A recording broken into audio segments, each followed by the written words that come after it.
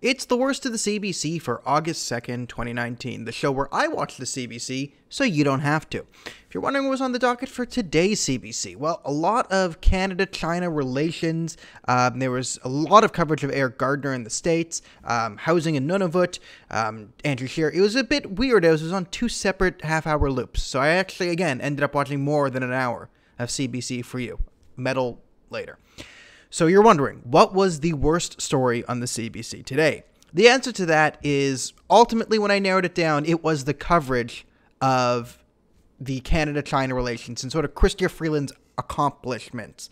It was about 10 minutes off the top. The lead story was uh, China has allowed Canada to start talking to it again. What a what a huge, huge, huge diplomatic success that turned out to be. Now, that is good, but it is contrasted by the fact that China had basically been ignoring us for eight months straight. They wouldn't even talk to Canada. We didn't even have an ambassador appointed to China. Now, my frustration here is it spent about nine and a half minutes basically talking about, oh, what a great accomplishment this was for Chrystia Freeland. Then there was about a 25 second clip of Andrew Scheer criticizing, which was the only 25 seconds worthwhile in the entire thing, and then followed by 10 seconds of analyzing Andrew Scheer's uh, comments, which wasn't really done greatly, and then move on to the next story. So what did Andrew Scheer say? So the only only thing of value in the entire segment was when Andrew Scheer says, basically, forgive me for not plotting, applauding Chrystia Freeland for finally being able to talk to uh, the Chinese because they still do not have an ambassador appointed to China after John McCallum was fired. When they say for comments, no, he was fired because he hosted a closed door event for the Chinese press in Canada that he didn't let the Canadian press go into, and then slam the Canadian position. Moving on. The other thing he says they don't have an ambassador, and they didn't. They haven't. We haven't even filed a complaint with the World Trade Organization for the beef, poultry, and um, canola uh, slaps that China's put on us. China has violated international agreements by basically haphazardly shutting down Canadian exports, and Canada's done nothing. Again, there's been no coverage of the Canada has done nothing. So I was watching this whole thing and them cover Chrystia Freeland, and it reminded me a lot of uh, the first time my brother scored a goal in soccer. So my little brother, when he was four years old, uh, we we got a we have a family video of an interview of him after he scored his first goal, and the interview literally starts with.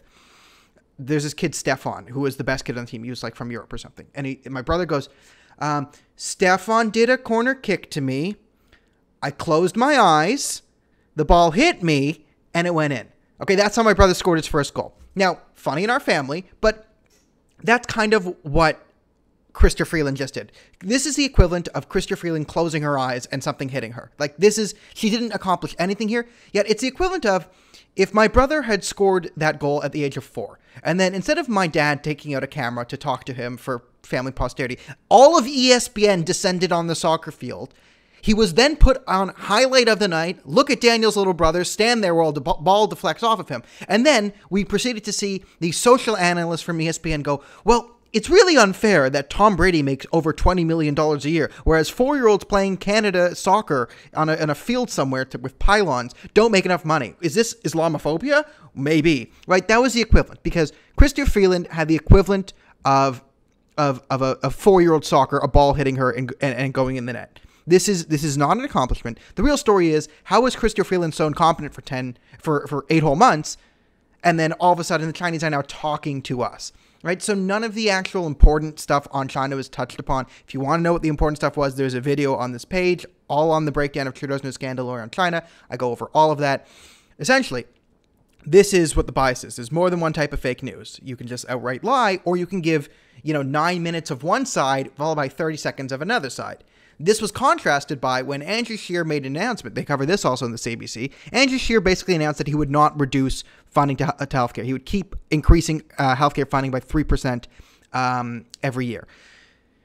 So they talked about that giving Andrew Scheer's comments about one minute, and then they gave about two minutes to each of his critics. They basically gave time to Bill Morneau to say how when Andrew Scheer says he's going to increase funding, it really means he's going to cut funding. And yes, we all know Doug Ford, Doug Ford, Doug Ford, Doug Ford, Doug Ford, right? And then we even had the NDP. The NDP basically said conservatives are bad. We all know conservatives are bad. And then they analyzed that, right? More an- analysis was given to the you know asinine NDP claim that conservatives are evil than was to Andrew Scheer's legitimate criticism of Chrystia Freeland and Justin Trudeau's handling on China.